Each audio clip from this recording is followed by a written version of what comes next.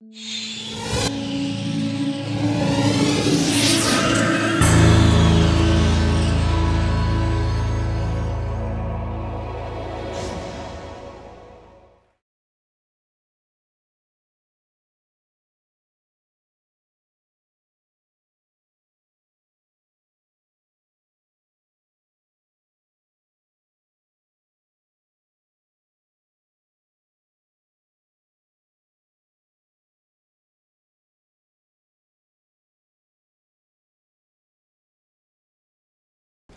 Um, my work in the field of compulsive sexuality started in a residential treatment center in Los Angeles with a man by the name of Pat Carnes, who was who wrote Out of the Shadows. Dr. Carnes is sort of the seminal figure in sex addiction work. And but one of the things we found out working in a residential or inpatient facility fairly quickly is that you can't treat sex addicts without offenders coming in the door. Um, and I will make a definition in a moment between someone who's sex addict and someone who's an offender. But the reality is, is that someone come in, can come into treatment because their wife found out that they were seeing prostitutes and involved with a, a lot of online porn. And then during the course of intensive work with them over a period of time, you can find out, oh, gee, they just forgot to tell you or didn't mention or were too ashamed to say that they also exhibited themselves at one time or they also um, engaged in uh, you know uh, drug related sexual behavior like uh, having sex with someone when they were intoxicated.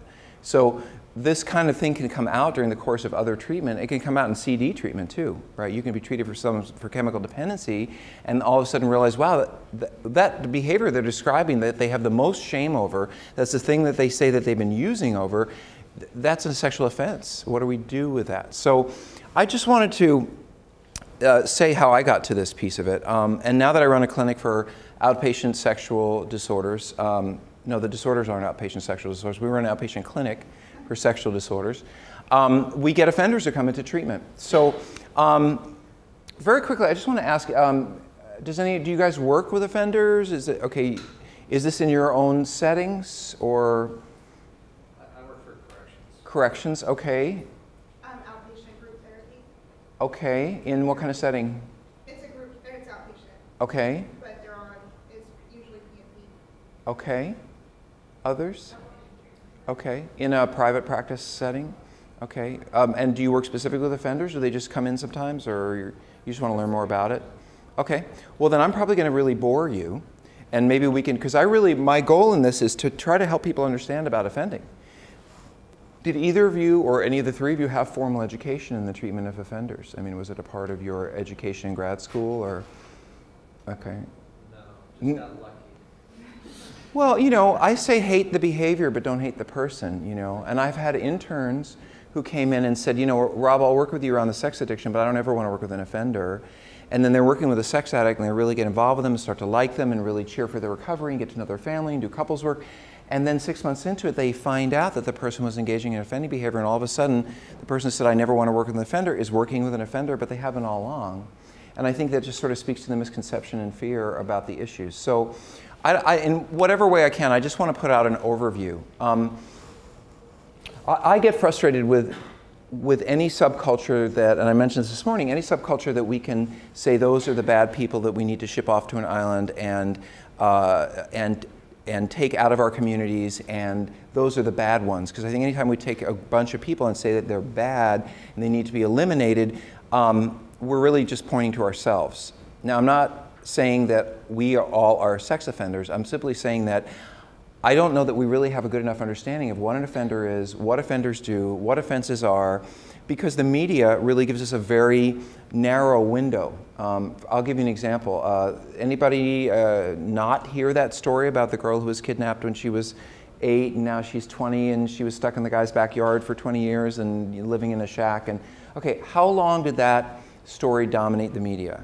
I mean, how long was it in the media? It had to be two weeks, 10 days, something like that you know, Nancy Grace, CNN, every media outlet, you know, this crazed sex offender who stole a girl. And of course, this is what we call fear mongering, which means playing to the worst aspects of humanity where everyone goes, oh my God, that could happen to me. And then everyone gets really freaked out about the whole thing, and, it be, and, it, and then it gets lots of viewership. But the reality is, is that a snatch, a snatch and grab offender who has that kind of soci- sociopathy is maybe, what, 5% of the total offender population? Not even- Not even. So um, even if we said 5%, that means that 95% of this troubled, problematic population is misconceived by the general public because if you say the word sex offender, everyone immediately goes to the guy who goes and steals kids and takes them to his backyard and rapes them for, you know, or the Elizabeth Smart guy, right? The guy who's. with. So that is just something that I think is worth clearing up for whatever it's worth and, you know, take what you like and leave the rest. Um, I want to give, um, just start off with a um, general clinical definition of sexual offending because um, we have misconceptions about this. And uh, one of the problems is, is that sexual offender or sexual offending are legal terms. So if I am in Arkansas and I fall madly in love with a 15 year old and we talk about getting married and we start, you know, and her dad says, Yeah, you can marry, and we start being sexual, you know, we might get lots of gifts from friends and have a wonderful party because we're about to get married. But if I got into a sensual relationship with a 15 year old in California and I told her dad and he said, Why don't you two get married? I would go to jail. So that what is considered to be sexual offending in one state is not sexual offending in another state. So it is a legal definition. Um, the only way that I feel like I can differentiate or really work with it is looking at from a clinical standpoint. So, clinically, what is sexual offending? And since we work with, at SRI, we work with people who cross sexual boundaries all the time and lie about it and keep secrets and do it compulsively, but they're not offenders, it's really important for me to have some sense when working with sexual addiction of what is offending. So, non consensual sexual behavior, very simple definition for offending if you don't give me permission to engage in the kind of sexual behavior I'm engaging with you, I've offended you. So if I'm on the bus with you and I put my hand out and I kind of rub my hand past your butt as we're walking along, as I'm walking along, frotteurism, right? I've offended you because you didn't say, oh, please, mister, would you put your hand out and rub your hand on my butt as we walk by? You know, if I look in your window and you didn't say, look in my window when I'm undressing, I'm offending you. If I, um, if I ask someone who is not of the age to consent to be sexual with me, then I'm offending because they cannot consent. So, any time that there is not actual consent, if someone's unconscious, rape, obviously, violent forms of sexual behavior are um, considered to be offending. We also add in uh, for, to the clinical piece people who are in positions of power who use that power to have other adults be sexual with them clergy, attorneys, physicians. So, if I am, for example, I worked with a client not that long ago who was a um, cardiologist. And he started having sex with a woman who was not his patient, but her husband was. And her husband, who he was treating, has a, had a very severe cardiac problem. He wasn't, he really needed a lot of monitoring. They were looking at surgery, heart replacement, all kinds of stuff. So here's this woman thinking, well, this, my husband's life is in this man's hands. How can she actu- accurately consent to him coming on to her or wanting to be sexual with her when there's a part of her who that thinks like in a sexual harassment case you know if i go along with him and have sex with him maybe my husband will get better care. You know or, or the woman who's working with a divorce lawyer who's thinking you know my settlement if i don't have sex with him maybe i won't get a good settlement or maybe i won't get child custody or so when people abuse power in order to invite someone to be sexual it really can't be fully consensual. Um, we've worked with a lot of priests and um, rabbis and people of all denominations and you know, when you look at someone as basically the representative of God on earth, it's really hard to make a consenting, uh, a, a, real consent. It's really difficult to consent to be sexual with them and be on an equal playing field. So we look at people also who are in positions of power as, uh, and who engage the people they are, have power over uh, for sex as being non consensual or engaging in a kind of offending. So, what is offending? Um, here's some examples exhibiting, voyeuring, frotteurism, that's that touching stuff. The French gave us that word, thank you very much. Um, sexual harassment, incest, viewing and downloading child porn, sexual activity with a minor, rape, and we added, as you just heard me do, abuse of a professional role to obtain sex. Now, I have to say, I have done this lecture a lot of times, and this is my experience. Um, it's really hard to hear. I just want to put that out there. Like I can, it's not that I can't be succinct in the way that I speak. It's just people start hearing this information and they get lost because it's really hard to hear, especially when we get into the child issues. And so, uh, as best you can, this is, I'd like you to see this as a fairly dry clinical presentation and keep your heart out of it at least until we get further along because it can be hard to hear. Um, um, so, some common myths about sex offenders. These are the kinds of things that are promoted by the media. By the way, um, I was involved. Did anybody see that show? What was it called? To Catch a Predator. Maybe not know about that show. Um, it was a television show that was designed to catch men who might have an interest in being sexual with a minor. And they set up sting operations where um, someone would be online and say, I'm a kid and I'm alone and I'm 14 and my mom and dad are away for the weekend and I'm lonely. And they'd be in a chat room and an adult male would come in and say, Well, I'd like to come over, right? And then they would have these houses in Riverside or Las Vegas or New York or wherever the house was, and all these guys would be lining up to go have an appointment with this underage teenager and they would end up talking to Chris Hansen, who was from uh, NBC. And I actually had the experience of being on that show because a couple of the clients who were involved in the cases here in California came to our clinic for treatment after they'd been arrested and all that stuff. Um, but my interest in, in going on the show was simply this that the way it was portrayed, if 50 men lined up with the idea of being sexual with a minor at a house, um, the way the show was portrayed would leave you thinking that all those men are exactly the same. They're all, because they're all treated the same. They walk in, they get confronted, they walk out, they get arrested. And they all walk in with condoms and alcohol and pies, and they all say, I'm not interested in having sex with kids. I was just going to tell them not to do this, even though they come in with condoms and pies. And so my interest is in saying, you know what, if 50 people show up to do something like be sexual with a minor, um, there are probably eight or 10 reasons why emotionally, psychologically, um, physically, why any one of those men would walk up to that house and do that. But so my interest was in portraying the gray, you know, like there are good guys and bad guys, and the good guys are the ones who are finding these offenders and sending them off to prison, and the bad guys are the offenders. But the reality is, is that we just don't have black hats and white hats. I mean, that's just not the way it works. That's the way it works in the media because what sells on television is good guys and bad guys. It's the same as it was in radio and black and white TV and where we are now. People want to root for the good guy and boo for the bad guy. That's just sort of how we're built. It's human nature.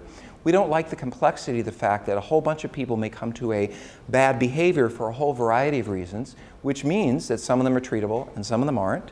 And some of them will get better and some of them won't. And some of them should be in prison and some of them should be locked up for a really long period of time. And some of them will never reoffend just because they won't how do we differentiate who those people are if we say the word offender and everyone is the bad guy who needs to be locked up and sent away forever? So my interest is in, you might call me, oh, I hate this term, an offender advocate? Ooh, I don't really feel I'm an offender advocate.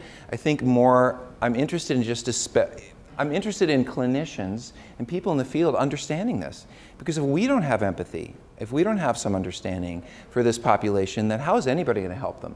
And how do we change behavior if we can't have some empathy? It's not possible. So um, let me go through some myths. That's a little background to why I'm doing this. Um, so they're dirty old men. Um, I know I thought that. You know, offenders are people lying in the street or uh, in a raincoat in the park ready to molest your child. The reality is that most offenders report having committed their first sexual offense by age 16 one of the problems with offending is that we look at it as an adult crime and we don't talk much publicly. You don't hear Nancy Grace talking about the 16 year old kids who are hurting other 14 year old kids.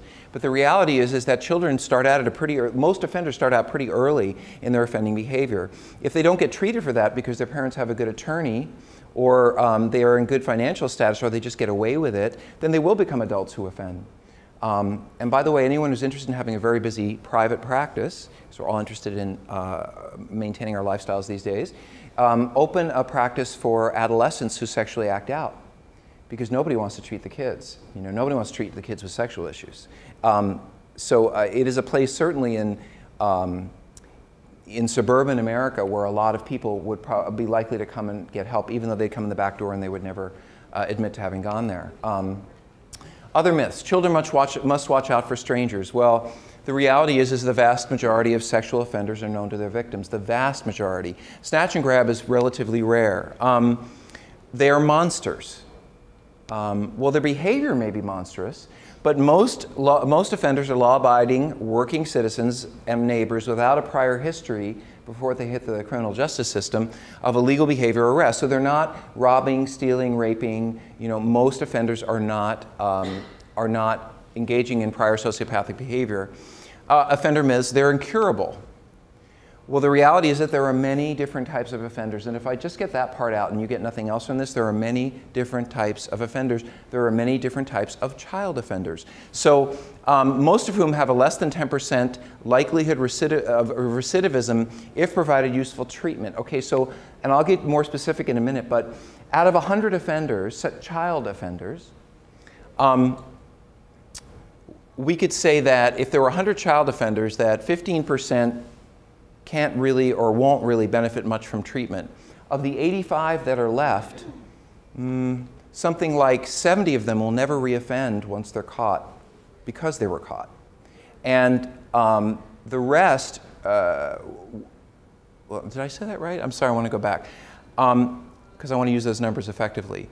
Um, the person who gets caught has is most offenders who offend have a less than 10% likelihood to repeat the offense if they have treatment. Less than 10%. And then less than 17% even if they don't get treatment. So even if they're just caught and they don't get treatment, it's highly unlikely that they're going to repeat their offense. So the idea that offenders are repeating over and over and over again, that is actually true, but just for a small percentage of offenders. So certain offenders will repeat over and over and over again. The rest of them are not going to return to it. The problem is, is that we see them as all the same. And the laws are pretty similar for everybody. So let's go over the rest of our myths. The majority of sex offenders are caught, convicted, and in prison. The reality is that only a fraction of those who commit sexual assaults are apprehended and convicted for their crimes. Most convicted sex offenders are released to the community uh, under probation or under parole, and I would venture that most sex offenders are never caught. You know, most sex offenses happen in the privacy of someone's home with someone that they know, or in a school kind of setting or a camp, and there is never reported, and no one ever really um, goes after that person. I mean, let me ask you this: How many alcoholics? What percentage of the population is alcoholic? You know, research tells us what? Okay, but we don't know. Because how many functional alcoholics are out there? How many alcoholics are out there who drink themselves, uh, you know, to sleep every night, but they never seek treatment? They're functional enough to get by. I mean, we really don't know that. So, uh, offender myths. All sex offenders are male. Vast majority sex offenders are male, but um, about 5% of all sex offenders are also female. And I actually think that number is way underreported. And the more I think our society evolves and our culture evolves, this one, culture in particular, where women can talk about their sexual problems and get help for them, you're going to find more and more women and men, and also men can acknowledge that, you know, you're not a stud at age 12 if, if a 20 year old babysitter hits on you, you're actually been wounded by that. When our culture gets to the point where men can talk about that and women can talk about sexual problems more openly, more and more of these issues are going to be reported. Um, we see this in the sexual compulsion and sexual addiction population that more and more women are coming out of the closet with these issues. Youths do not commit sex offenses. Well, adolescents are responsible for a significant number of rape and child molestation cases each year. Um, so, what, who needs what kind of treatment and what works and what doesn't and who needs to go to jail and all that stuff? Well, unfortunately, and I think we hate this. I, I hate it there is no one size fits all treatment for sex offenders because guess what? There is no one size fit all sex offender. And that's what we'd like. I mean, we want to be able to say all these people are this and they all do these horrible things and we just need to lock them up and that's that. But that is really not useful because it doesn't really match the population. The reality is that nearly every case is different in some way. So here's some ways of thinking about it. Not everyone who commits a sexual offense has a sexual disorder. For example, there can be someone who is uh, drug addicted, alcoholic, and a bit sociopathic who breaks into houses on a regular basis. And, you know, he steals for his drug habit and he doesn't really give a shit about He's pretty sociopathic, doesn't have any remorse. And he breaks into one house and he sees uh, a woman lying there on the bed asleep and he decides to force her to be sexual to him. Now, is he a sex offender? Well, yes, because he raped someone. Is, is he going to respond to sex offender treatment? Well, no, because he has no history of going after women, attacking women, raping women. This was opportunistic. So this is not someone, even though he may be convicted for a sexual offense, who's going to respond to sexual offender treatment. His issues most more have to do with sociopathy and compulsive stealing and drugs and alcohol. Or you can have somebody, for example, who um, has the mental capacity and emotional capacity of an eight-year-old who rides on a bus every day with younger children, but he's 35. So he is emotionally de developed at about age eight, and he spends times and hangs, time and hangs out on a van you know, going to his daily disability program with a couple of kids who are age eight or nine. He relates to these kids. These kids are nice to him. He feels connected to these kids, but he's also an adult with a lot of sexual feelings and sexual drive. But he starts to have feelings for one of these eight year old girls because that's who he's spending time with. So if he makes some kind of sexual um, uh, overture to one of these children, is he a sex offender? Yes. Will sex offender treatment be useful for him? No, because his problem is not that he's a serial sex offender or that he goes after kids. The problem is that he's developmentally disabled, that he has social inhibitions and social problems, doesn't know about his sexuality or how to deal with it. He has a lot of other problems that need to be dealt with that led him to this particular behavior. But it's not the same as someone who is a sex offender, uh, who, for, for, whom sexual offender treatment is going to be useful. Um, so, treatment evolves from and is directly or should be specifically related toward sexually addictive, compulsive, and offending disorders. If your pathology is not of a sexual nature, treatment isn't going to work. Um, it's really just that simple. And so, one of the reasons I'm talking about this is because when you look at recidivism rates or who, if, if, the, um, if we're doing research on who benefits from treatment and who doesn't, you have a treatment population and you say, well, these, this many people did well in treatment and this many people didn't, one of the questions you may not be asking is, who's in that group?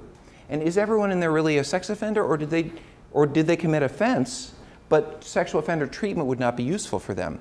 Um, that's one of the reasons why some, much of the research we see is it can be skewed or confusing.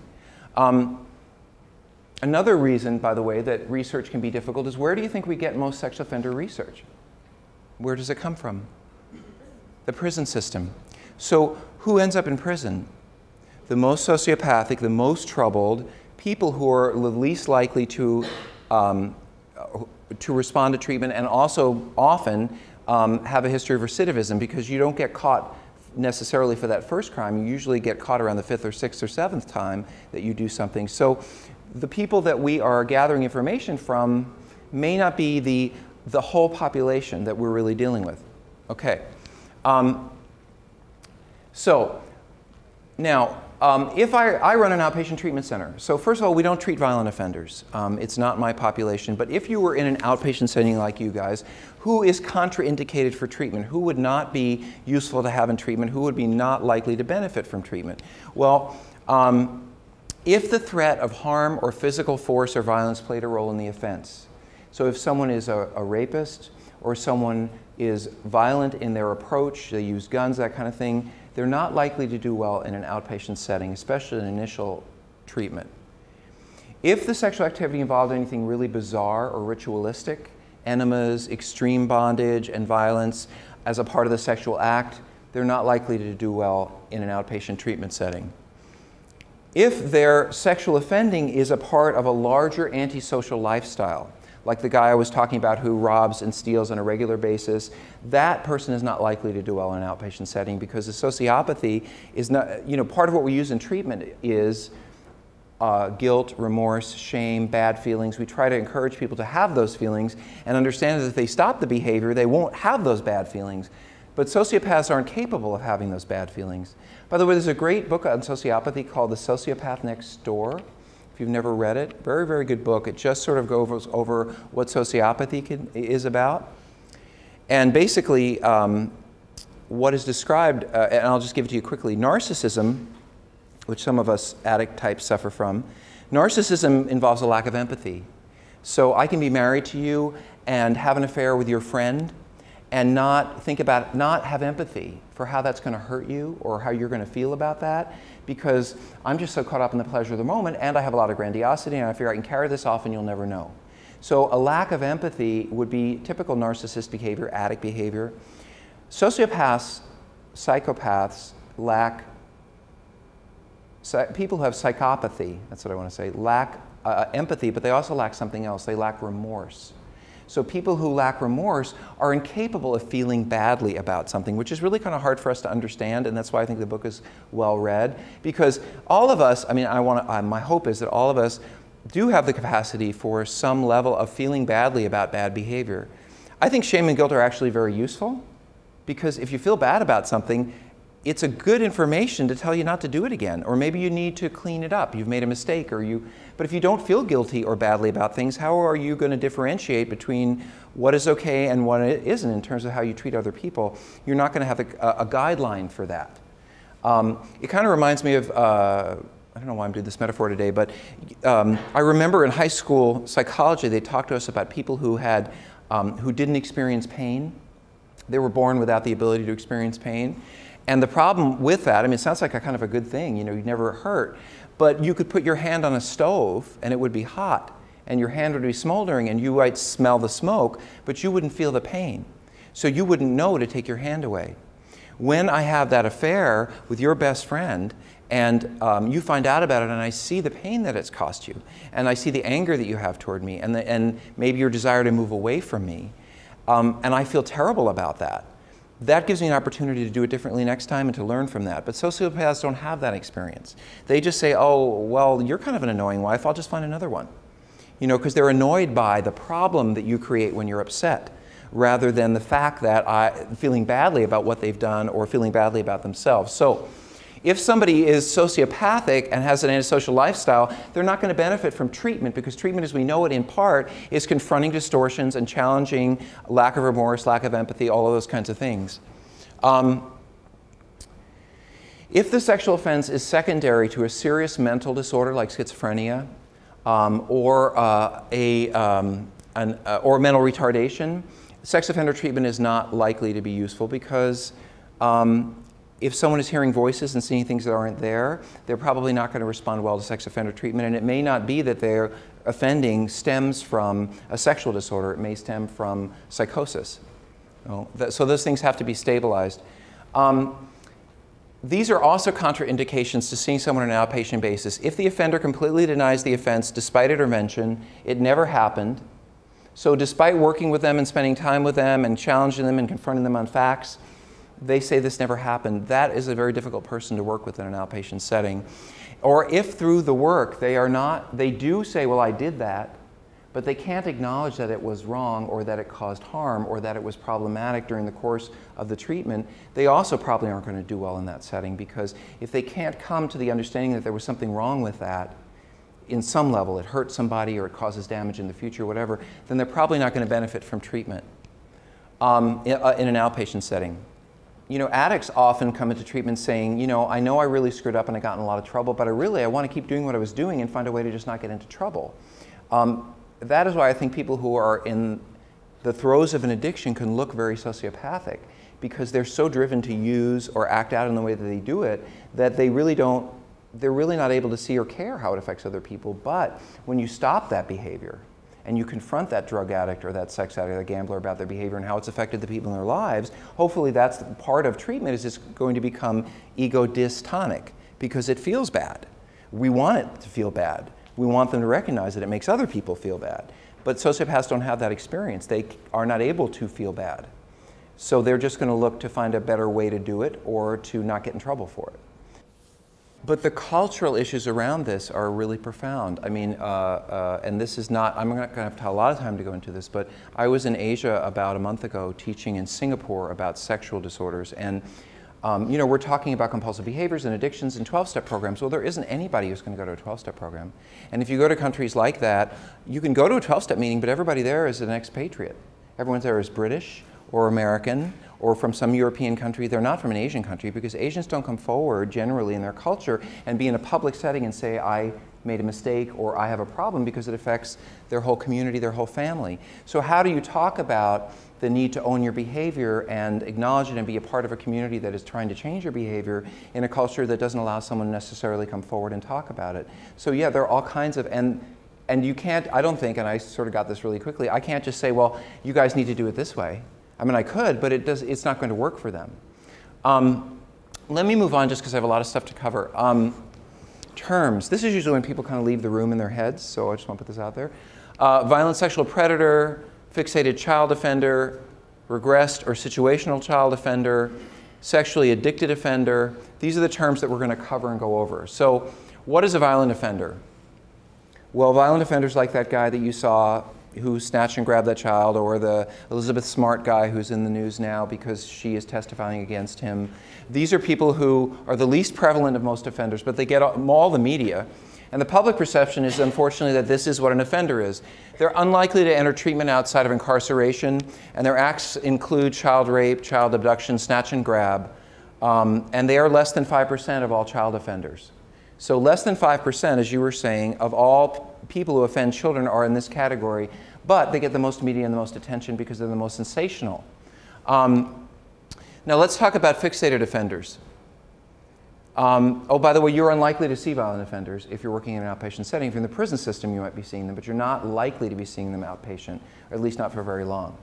Um, fixated child offenders. Now, th this group is really worth understanding. Um, so, a fixated child offender is someone whose primary or sole sexual orientation is to a child. Um, that's, it's fixed, it's unlikely to change. They don't have interest in or very little interest in or arousal with sex with adults. Now, this really upset me when I heard the term sexual orientation because I was sort of, sort of thought it was insulting to somebody, you know, because if you're homosexually oriented, you're oriented to same sex. If you're heterosexually oriented, you're, entered, you're oriented to opposite sex. But if you're a fixated pedophile, that means that you're oriented to a child. So that means that the only sexual arousal you have is to someone who is prepubescent if you're a pedophile. Well, what does that say? How do you treat that person? We sort of know we can't treat homosexuals to not be homosexual, and I don't know many heterosexuals you can treat to not be heterosexual. So if somebody truly is born this way and that is the only thing that arouses them, how do you change that? And the answer is we don't know how to change that. So there is a percentage and uh, of, of offenders, I think, do I have this here? Yeah about 8 to 12% of all child offenders, they are difficult to treat. They're unlikely, the treatment success is unlikely, and they have a very high recidivism rate. why do they have a high recidivism rate? Because the only thing that turns them on is kids. So how do you, basically we have to say to that person is, I mean, can I have a heterosexual, you might be heterosexual. I can say to you, sir, you know, you can never again have sex with a woman and you can't fantasize about it and you can't masturbate to it and you know anything else is okay but women are not okay well if you're pretty heterosexual what the heck are you going to do with that and that's basically what you're telling them. Now i'm not saying that their desires are right or wrong or good or bad. I mean their behavior is pretty horrendous. I'm just saying trying to point out the difficulty in treating somebody like this because there is no treatment to reorient them. Basically the only treatments have to do with reducing their sex drive and helping them develop empathy and all that kind of stuff. Is just because someone might be, let's say, a fixated pedophile, they know from an early age that they're interested in sex with children, just like you might have had a crush on, you know, your high school teacher. Um, they know that they were interested in kids, and as they age, they still have interest in those younger kids. And, but that doesn't mean they're sociopathic. So they know, some of them, that they have an attraction to children. They know it's wrong. They know it'll hurt the child. They don't want to do it. But that's the only sexual interest that they have. So what do they do with that? So they would have remorse, they would have regret, they would feel shameful and badly, but it's also the only thing that arouses them. Who, what would, be, who would be a really public example of this? Mm, maybe some major music media star who had this, you know, play Parkland and had children sleep in his bed and never really was sexual with men and never really was sexual with women and, you know, this sort of uh, Peter Pan person, pretty big musical star. Maybe you heard about him. He would be a perfect example in my mind of a fixated pedophile. Because here's this person who is really does not have adult sexual interest, but is interested primarily in relating to and being a child himself. And relating to children as a sexual object or as a relational object um, as a child, because he sees himself as a child. That would be very typical of a fixated sex offender. Now, so let me just get through this slide. The internal world of a fixated offender would look like this. So if I was he, him, I would read this. To, I would say this to you. My primary orientation is to kids and to adolescents. I work where I can have access to children. I become intimate with people, like a, a woman because she has two young children, and I can be sexual with them. This is every parent's worst nightmare, next to the snatch and grab. Um, sex with adults is uninteresting to me. My orientation to children has little or nothing to do with trauma I was likely born this way. So I've been aroused by kids since I was a young teenager or an adult. Another place I think that psychotherapy has gone wrong and given information to the criminal justice system that they really don't like us for um, and that has really hurt us is the idea that anyone who offends must have had a traumatic experience in childhood. And that just isn't true. You know, um, there are many people who have traumatic experiences in childhood who never offend, and there are many offenders and types of offenders who, um, who don't, didn't have that kind of childhood. This is just who they are. So, in the case of this, you know, really famous musician who died recently, you know, there was a lot in the media about his father had been abusive, his father had beaten him up, he hadn't really had a childhood, he had to be an adult from a young age, and there's a lot of inference from all that. Of course, he would feel like a kid and want to be with kids. I don't believe any of that. I think that was all media hype. And I think it was very much played up by the person who had the problem. The reality is, is that probably from the time this little kid, kid was born, he had an interest in this age and always felt that way. And his father could have been wonderfully loving, and he could have grown up with plenty of high school experiences and be a musical star, and he still would have been a fixated pedophile because that's who he was. Now, why do we have these people in the genetic mix? That answer I don't have for you. You know, because there have been child offenders since time immemorial. Um, what do they have a purpose? Why do they keep showing up? Why are they around? I, I don't have the answers to that. But um, this is not like a new experience that these people are showing up in our world. Um, so again, I want to say that that's 8 to 12 percent of, offend, of child offenders are fixated. So what about the rest of them? Okay, again, 100 guys line up at a house in Riverside because they read online that they could meet up with a 14-year-old kid or a 9-year-old. Um, who are all these people? Well, 8 to 12 of them will be fixated pedophiles. Um, Another few of them will be suffering from severe drug issues, severe um, uh, mental retardation. Um, you'll have, and, and you'll have people who have severe mental health problems. But then the rest of them, the majority of them, are going to fall into this category. So a regressed or situational offender is somebody whose interest, sexual interest in children or adolescents is passing. It's temporary.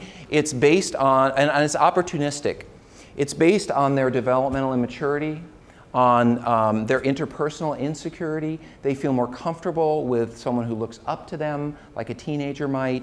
Um, they, they have sexual arousal toward adults, but a child might be, or a teenager might be, an easier situation to, for themselves to feel safe or for them to feel safe. So um, we'll talk more about this. So 80 to 85% of all child offenders are of this regress type. So who is this? Did anyone see American Beauty? Kevin Spacey, Annette Bening, who should have won an Academy Award for that role, I have to say that year. You know, that real estate role, I will sell this house, I will sell this house. You ever remember the movie? Anyway.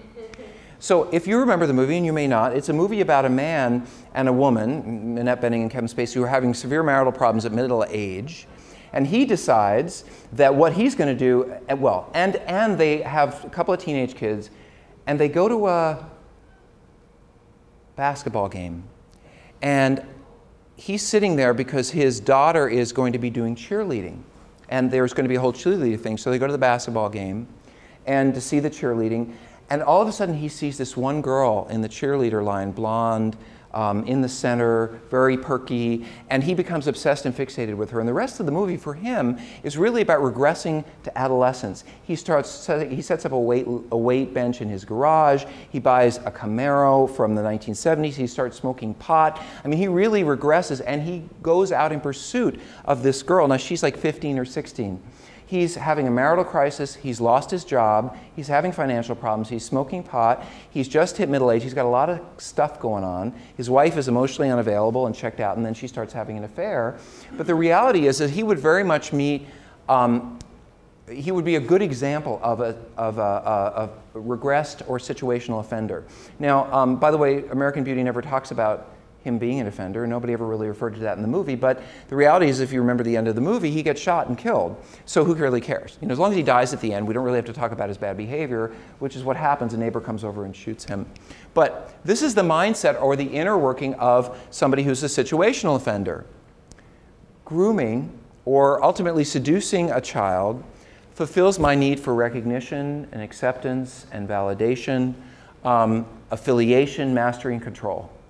Uh, it's not the sexual gratification or the release per se that offers me the real satisfaction in the relationship with a child. It's more that they want me. more that they desire me, that they're interested in me.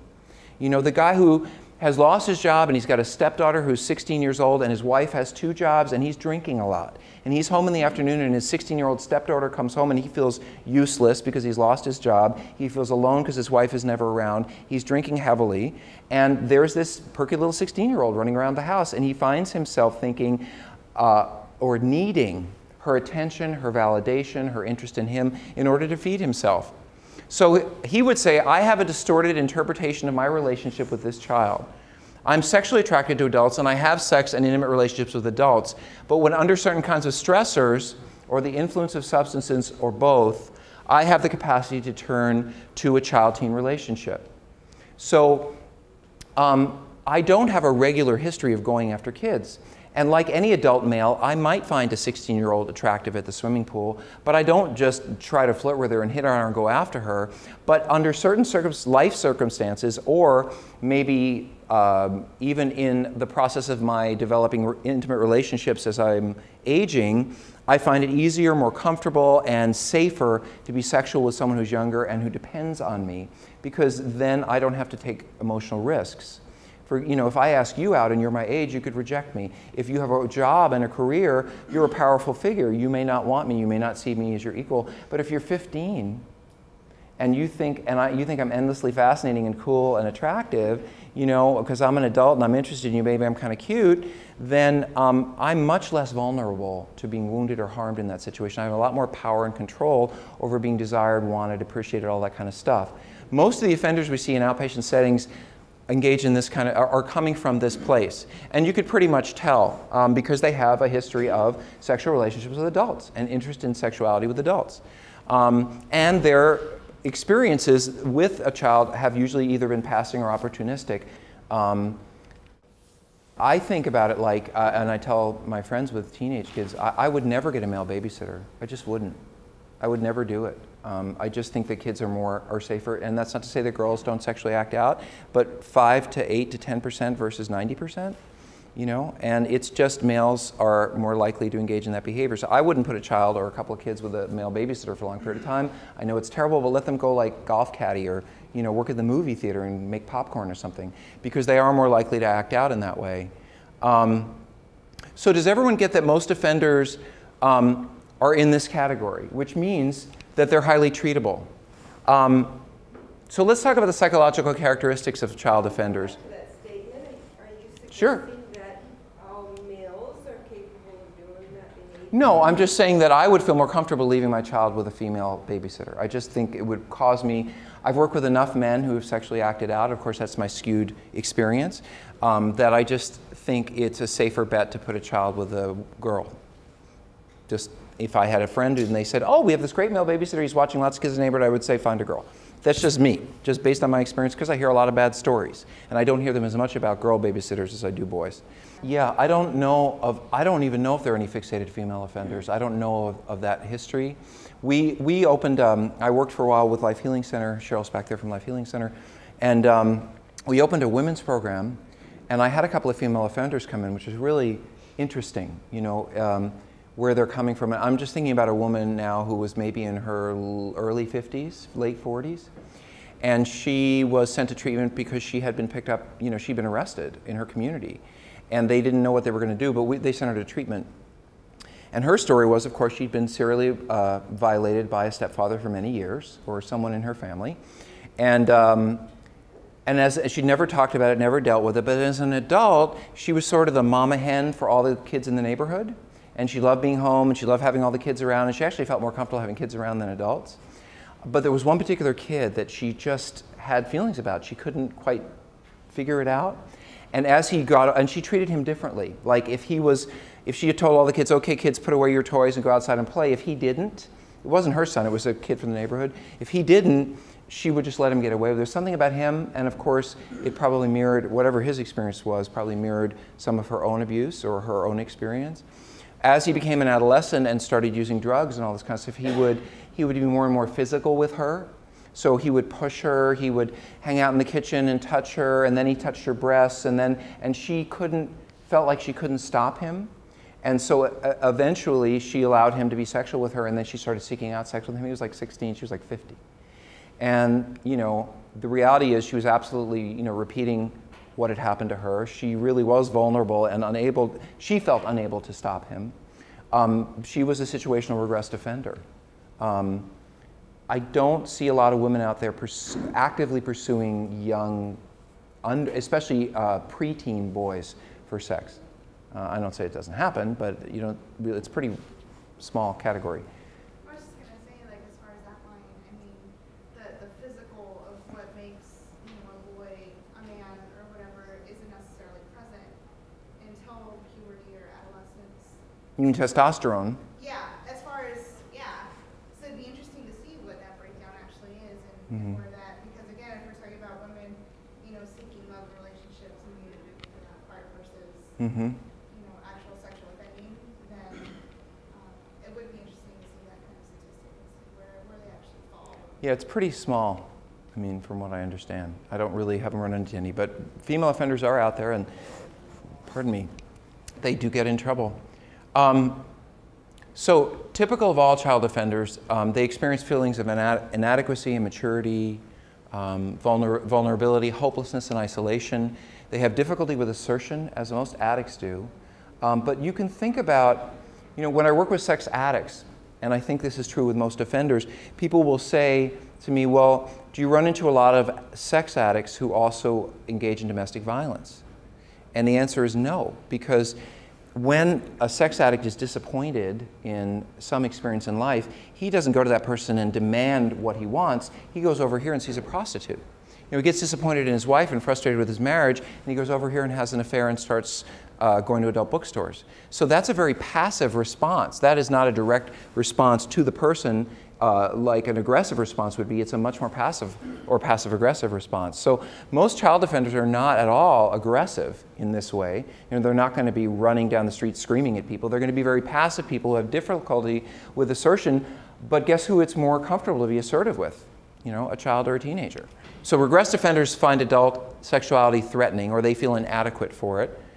Fixated offenders, like that, you know, artist that we talked about, the one with the glove, um, they're really not that interested. So pure sexuality for both categories is avoided or abandoned at some point. And here's the important part, I think, just to know is that um, regressed offenders, so uh, 85%, right? Uh, the American Gigolo character, uh, sorry, American uh, Beauty character, thank you, um, Kevin Spacey, uh, they relate to that child as if they were an adult. So he is 50 years old and he's looking at this um, uh, cheerleader and he's buying her special gifts and he's treating her specially. He wants to take her to dinner and buy her a Coke. So he's treating her specially, making her feel more adult, more, he's bringing her to his level. And in his distortion, she is like an adult. She's a special child. She's so special, she's just like me, she's like an adult. So that whole Lolita thing, you know. But if you're a fixated pedophile, like the gloved one, for example, you bring yourself down the level of a child. So fixated offenders see themselves as a child relating to these children as peers, whereas a regressed offender would see themselves as an adult but bring the children up to a level of being a special child or an adult. Does that make sense? Um, so that's where grooming comes in. Does, do people know what the word grooming means? Anybody not?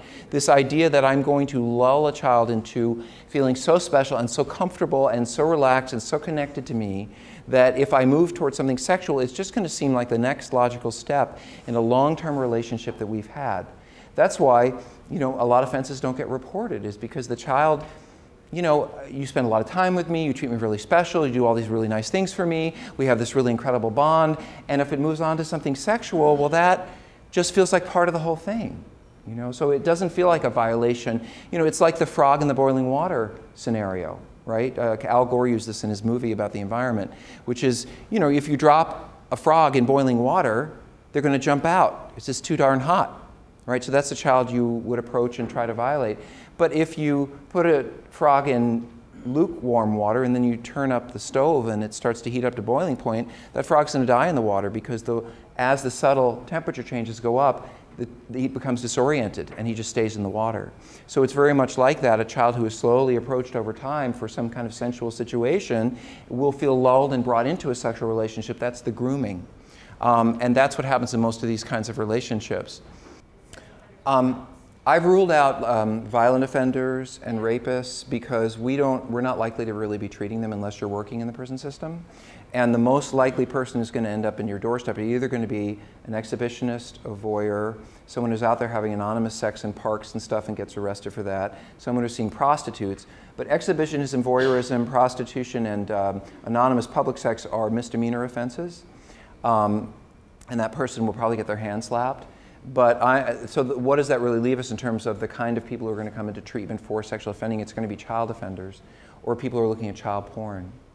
Um, and the child porn category, by the way, is a really interesting one because we have more and more people coming in. I mean, this is very typical. I had a guy come in recently who was all of his life he'd looked at a tremendous amount of porn. I mean, like three, four hours a day since he since the internet came along, and he isn't that old. He's like 30.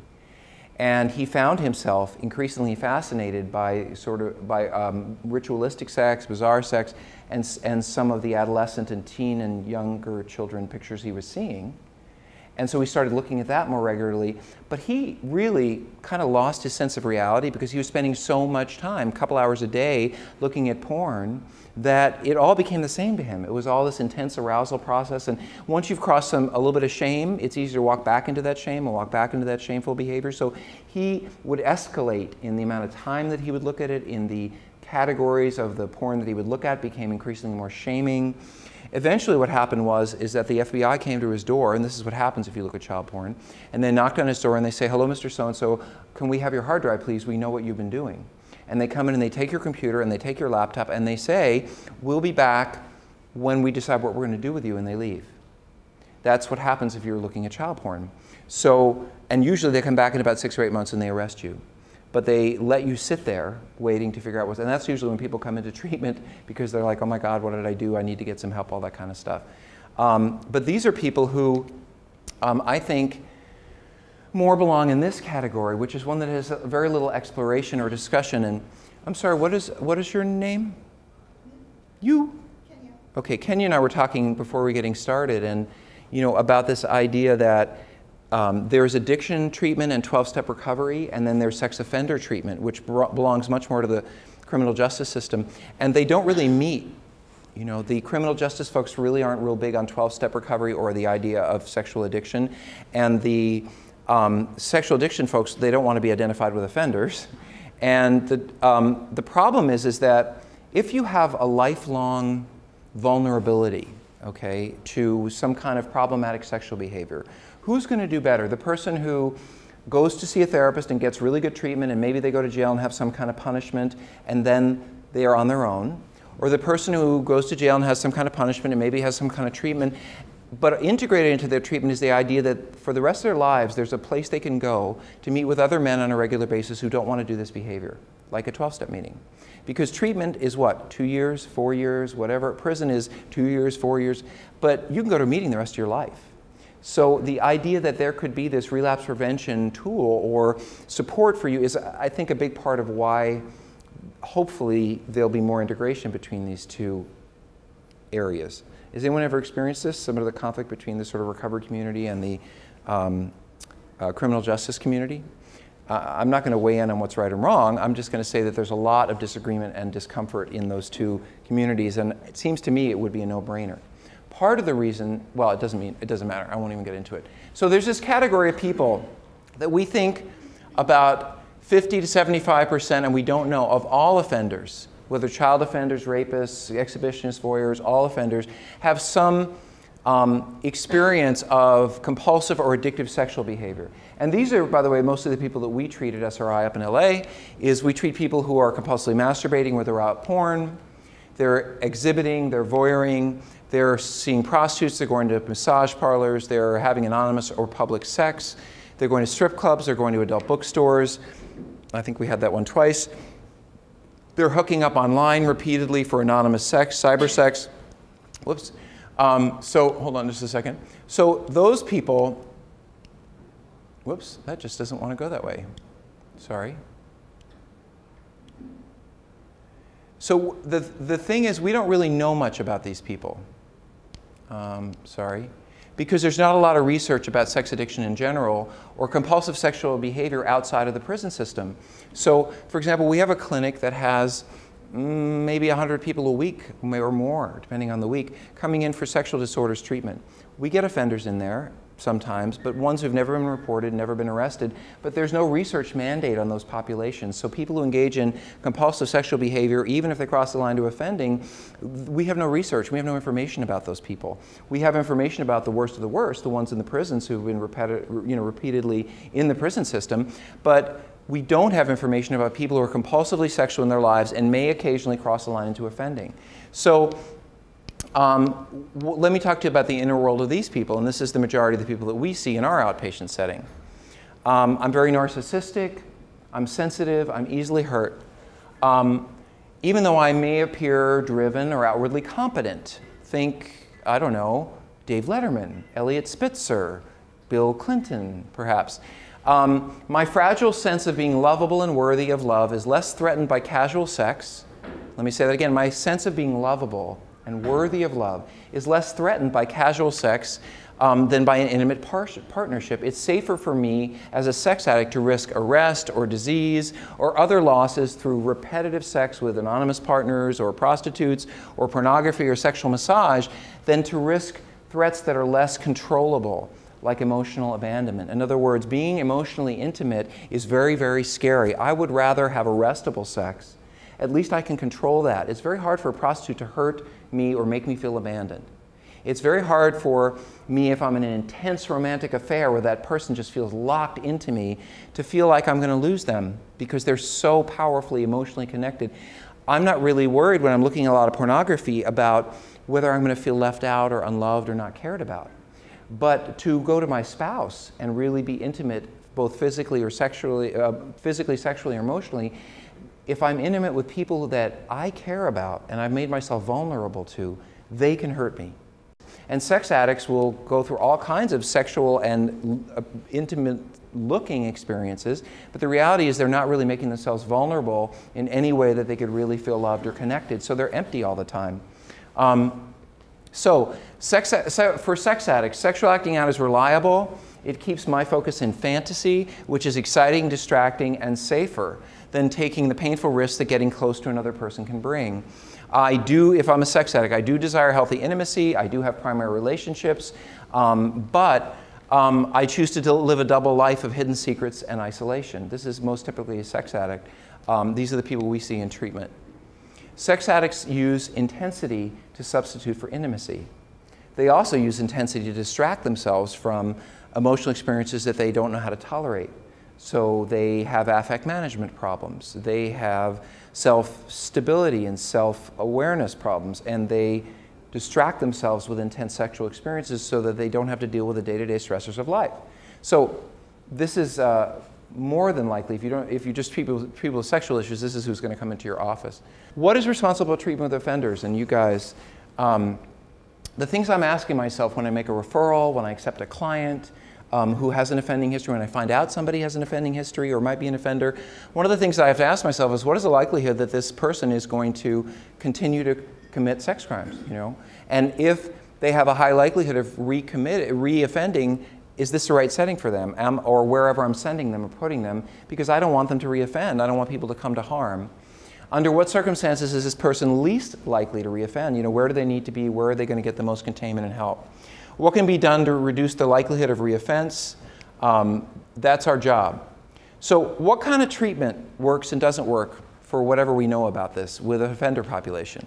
Um, well, there's, chemo, there's uh, psychopharm, psychopharm. Chemotherapy is not the right word. It's psychopharm, but it is chemicals, right? What is psychopharm? It's um, drugs like Depo. They are um, and I don't know if I can say that word, anti-androgenic. Can anybody say that for me? They reduce male, in essence, they reduce testosterone. So they, reduce sex drive. So this is the, one of the only things we know how to do with a sex offender. It's basically uh, chemical castration, which is we take away the sex drive of an offender, someone who's specifically dedicated uh, to defending children, so that they no longer desire sex, period, because that's the only thing we know how to do with them what's wrong with that is that where is our primary sex organ? It's between our ears, not between our legs. So you can, and they used to do this in the 19th century, they used to literally castrate people, and they would still find them going after children because it isn't just about the sexual act, it's at the pursuit, the pursuit, the involvement, the excitement, the, the, the affirmation, the validation, the connection, all those emotional kinds of things. I have, um, I have a friend who is a fixated child offender in the field.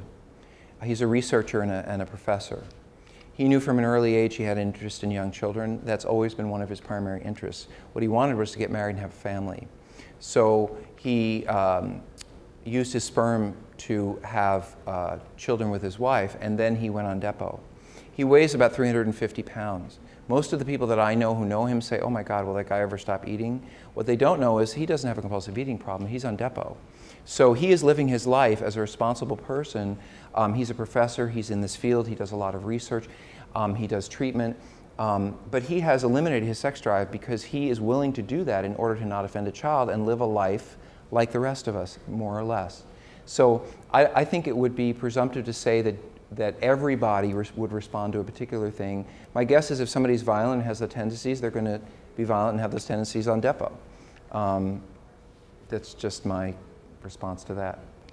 Um, so, the only people that you would probably use psychopharmacology with related to hor hormonal reduction would be a fixated offender, because we don't have any way of treating, other way of knowing how to treat them. Um, behavior mod, strict behavior modification. Um, it has to do with conditioning and learning principles. You all studied this in grad school. I hated this stuff. Isn't it really boring? But basically, it's a you know it's Pavlovian, right? It's aversive conditioning. So what they do is they take they break uh, like an ammonia capsule and they put it under someone's nose at the same time they're showing them a picture of a child. So um, what it does is supposed to do is pair aversive feelings with those images. Uh, in the 70s, by the way, and I remember this, when I wanted my parents, I was a kid, and I wanted my parents to stop smoking, and they had these stop smoking programs. They showed them on TV. I think I remember seeing them on the news, where if you were a smoker, you could go to a clinic, and what they would do is they would lock you in a small, well, they put you in a small room that was basically glassed in, and it had a giant ashtray, and they'd give you two packs of cigarettes, and there was no ventilation in the room. So, and you were asked to smoke the two packs of cigarettes within an hour or two. So you would sit there for hours and do nothing but smoke, and then you had to inhale and smell the ashtray and all this kind of stuff. You had to do that for a series of days. This was behavior mod for smoking. Um, it didn't work, but it looked really weird to see these people in these rooms filled with smoke and inhaling ashtrays and all this kind of stuff. But it was based on the same principle, was it, which is if you pair a miserable experience with, hopefully, with this what had been a rewarding experience, that the person will no longer want the reward because they'll immediately think of the negative stimulus at the same time. Um, unfortunately, it's minimally effective because the result of it extinguishes over time. That, you know, any of you who've been through a crisis or a loss know that the immediacy of law, or anyone who's worked with an addict, who got arrested or lost a job or a spouse, and they said, Oh my God, I'll never do this again because look at this terrible thing that happened. And then six months later, they're back to their behavior. It's because pain doesn't, short term pain doesn't necessarily change a, a, a, life of, lifetime of behavior. So just because you pair something painful, negative, problematic with a, a, a problematic behavior, it doesn't mean that that's going to remain paired in their mind. So it's fine as long as they're breaking ammonia capsules under their nose, but within a reasonably short period of time, it's going to wear thin. Unfortunately, this is still used, I don't say unfortunately because we don't have a lot of answers, but I think about a third of the prisons in the country who do treatment at all still use aversive conditioning as a form of treatment. Um, but I think what it does teach people is if you act out in this way, you could go to jail and people will stick ammonia under your nose. And if you don't want to go to jail and have people stick ammonia under your nose, don't do this. You know, that, that message kind of gets across. Um, so, um, ooh, did I skip a slide? Hold on a second. I want to tell you. Oh, okay, yeah, I did. So, uh, other modalities. Psychodynamic psychotherapy, what most of us studied in school, you know, talk therapy, sit down with a therapist, talk through your problems, talk about your past, um, has proven the least effective towards change. It's either minimally or non-effective. So every therapist out there who says, well, you know, when we talk through what you went through with your family, or then you're going to stop this behavior, doesn't work. It just simply doesn't work. So um, if you have an offender and you are a psychodynamic psychotherapist, please refer them out because this is even if they have family trauma and they have issues and it's not going to learn, help them learn the tools they need to learn to not do their behavior so what is left well we have cog-b and psychoeducation which views, views most sexual offending to be a, a, the what is the word I just used? I'm sorry. To be the product of, develop, of develop, developmental problems and the attempt on that person's part to remedy such problems. So we do re-education, re-socialization, we confront denial, we confront their defenses. I mean, this is what treatment's about. It's very similar to what you do in addiction treatment, only you're doing it with offending. Um, the aim is to alert the offender to the life issues that stress him and help him find ways of reducing these stressors so, and being aware of these stressors and giving him better coping skills than sexual arousal or using sex as a means of coping. We teach self observance, we teach about sexual compulsivity, we teach about the recognition of characteristic early behaviors or triggers or warning signs. It's ChemDep, it's treatment, it's what you do. Empathy, by the way, is a later stage part of this process because uh, first they have to stop the behavior first, and then they have to do relapse prevention and COG-B, and then eventually they might get to how it's affected the people in their lives. Um, so sex offender treatment is educational. It's um, I'm not going to go through. It's experiential uh, in terms of confronting experiences in group. Um, so I'm trying to think if what I really want to get to you guys with.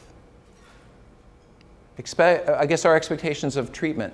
So what is the goal? What am I trying to get to in doing offender treatment in an outpatient setting? Well, number one is I want them to move from having the experience of offending be syntonic, meaning sounds good to me, let's go. You know, egosyntonic for me would be I know there's M&Ms downstairs and they're going to taste really good and I'm really going to enjoy them and I can't wait to get downstairs to have some M&Ms.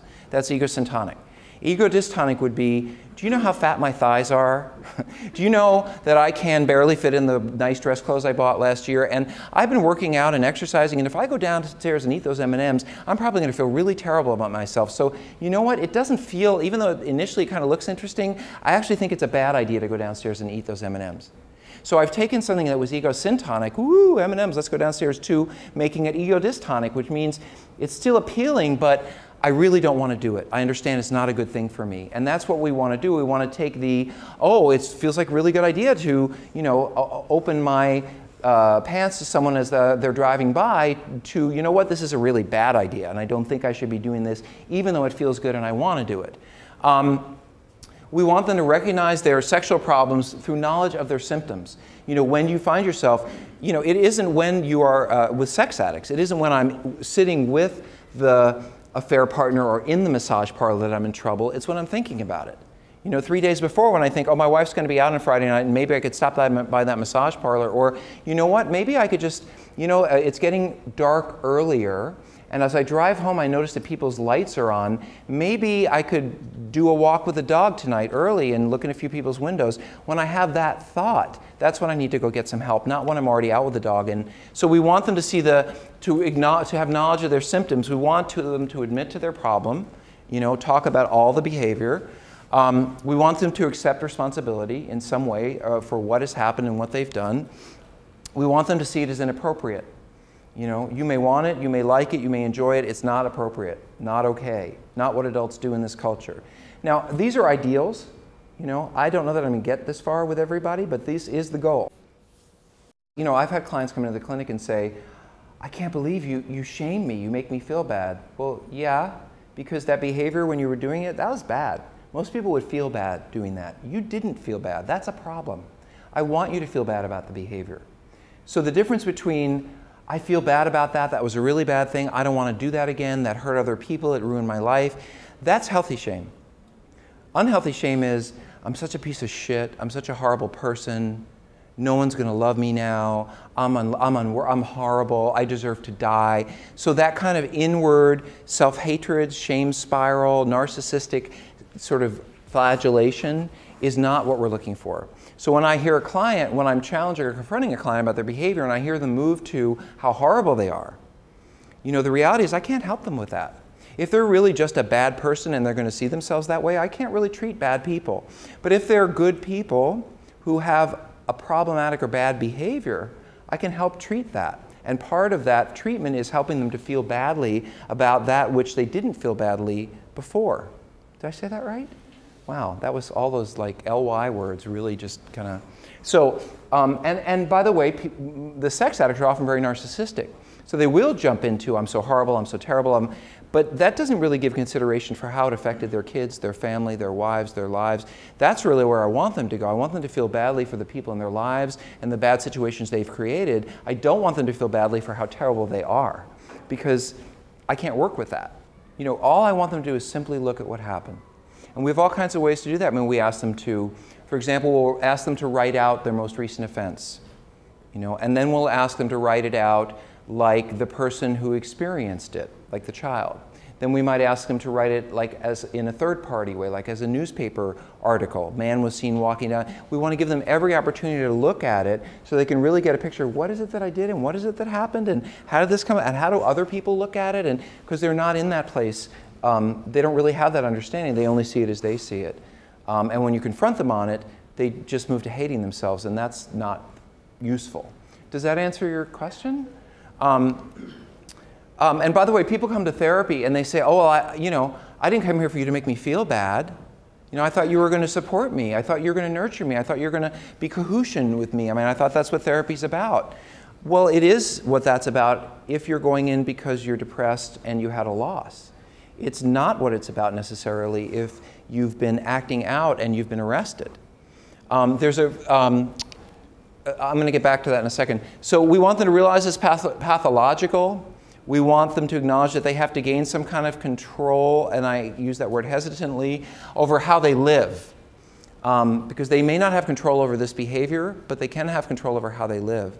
In other words, if they know that, that, they, um, that they shouldn't leave, go to certain areas, that they shouldn't act in certain ways, that they, shouldn't, that they need to take care of themselves emotionally, physically, spiritually, um, in other words, they know that they have responsibility for not allowing themselves to be vulnerable to acting out. Um, easiest way to say that is HALT, which is what they use in AA. You know, we have to teach them that it's not, maybe other people can be hungry, angry, lonely, tired, but if you have a history of when feeling vulnerable, impulsively acting out sexually in ways that hurt people, you can't do that. You have to take better care of yourself. Um, so we're also teaching them how to live. This is a really good statement about working with addicts, and I think what the work is in general um, with this kind of population. Um, I work with a lot of interns and trainees, and they come in to do to train with us, and they have a very psychodynamic, you know, supportive, nurturing, relational background, and that is a very appropriate way to work with someone if they're voluntary.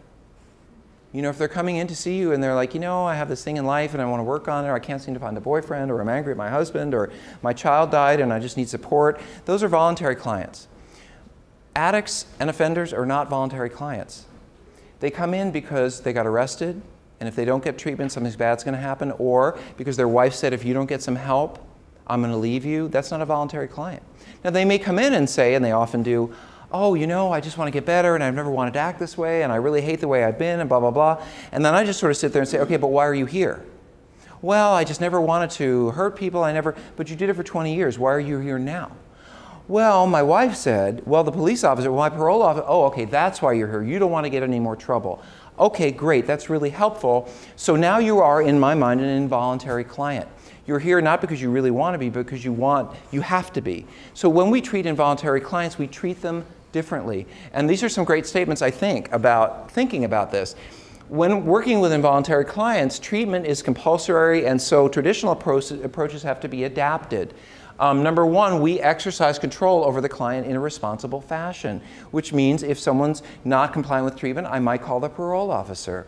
If I have a client who is not really focused and um, giving to the process, I might ask him to invite his wife in and then say to her, I'm concerned about you and your husband because your husband's not really acting, uh, you know, really taking advantage of the treatment process. So I'm, because I, I, don't have a lot of control over him necessarily, but I bet she does. So exercising responsible control and authority over the client, I am also um, in a position to confront and control, which means I'm confronting the, uh, their distortions, their bad thinking, their problematic, and I'm also giving them suggestions. Go to 12 step meetings, or read this book, or go to group, or uh, maybe controlling them is not, a better, is not the right word, but it is prescriptive. You know, it is saying you have this problem and you're coming here because you do these things, and here are the things you can do to get better, and then watching and seeing what they do. Now, the psychodynamic part, I think, and the interesting part to me is that everybody's different. So some people come to treatment for a sexual disorder or an addiction, and they will be completely compliant and they'll do everything they need to do because they really want to get well. Unfortunately, that's not most of them. You know, most people come into treatment and they are, show their resistance in a variety of ways. You know, some people will just sort of be superficial and half do the things you give them. Some of them won't do them at all. Some of them will do them late. You know, some of them will not pay on time. Some of them will show up late. And all this stuff has to be confronted. And it has to be confronted really early on. Because my goal is to say, you know what? I see you. You know, you're not fooling me. You're not hiding. You're not keeping secrets. I get where you're coming from. And I'm concerned about you and I want to help you. So I'm going to contain, I'm going to put a container around the way you're acting here. It's not okay with me that you come late. It's not okay with me that you don't pay on time. It's not okay with me that you don't do the homework. And there's something very psychodynamic in that because I can also turn around and say, and I'll give you just an example of this, and then I think we need to stop. Let's say I gave an assignment of something to work on to a um, non to a voluntary client, okay? And they come in and they say, you know, I looked at that assignment, I just didn't want to do it. I was really depressed and unhappy. And you know, I might say to them, well, what did it mean to you that you got this assignment? Or what came up for you when you thought about doing it? Or how did it feel to you when I gave you the assignment? Or, you know, that might be a typical sort of psychodynamic response to explore, you know, what it meant to them and why it was, what it felt to them. But if someone is an involuntary client or an, or an addict or has, is coming in because of behavioral disorder, and I ask them to do something, we have an agreement that you're going to complete that assignment or you're going to show up on time or you're going to finish that, then when they come in and they haven't done it, well, I know this person has a history of not meeting agreements for a really long time. You know, they're violating the law or they're violating their relationships. So I can say to them, you know what? It's really interesting because last week we, we agreed that you were going to complete this assignment. And it's really, I'm curious that you didn't do it because you came in and you said you really wanted help. And I'm saying, and I said to you, here's one of the ways you can get help once you start on this assignment. And then you didn't do it. And it's kind of frustrating to me. In fact, I wonder if this is maybe how your wife feels when you make all kinds of promises to her and then you don't follow through on them. You know, are, is, do you want to be the kind of person that people don't have trust in? Do you see yourself as someone who doesn't follow through on commitments that you've made? So basically, in a non angry, non threatening way, I'm throwing the reality of how they behaved um, right back on them for them to look at. That to me is good treatment in a sense because we have the structure, which is the COG-B, the assignments, the homework, the work that goes on in the room that we're bringing, the readings. But everything that they do and the ways that they act is, this, is the psychodynamic part. It's what every, what, um, um, and their resistance is an opportunity to look at how they act in relationships and how they try to get away with things and all that kind of stuff. So um, the two pieces actually do come together if you're doing good treatment. You're not just saying to someone, read your assignment, okay, you read your assignment, okay, you read your assignment. You know, you're looking at how they approached it, how they did it. All of that stuff is grist for the mill because that's how they, you know, that's how they act their lives out and that's how they try to get away with things out there that they think no one's going to notice. But in treatment, we notice and we pay attention because that's our job. So, anyway, I, am done um, with this. Um, I think if you, if you find yourself in, an oppor- in a situation where you might have the opportunity to work with a sex offender and you haven't done that before, it's a really, can often be a rewarding experience. And um, the problem is I often really like these people and I really hate their behavior. And when you get to like a client and you start to advocate for a client, you have to really watch out for the fact that they may be really friendly and warm and loving and you think you have a great client and then they'll go right back to acting out. It has nothing to do with the relationship in some way, at least for them. They don't feel like it has anything to do with the relationship. Um, okay, a couple questions and we'll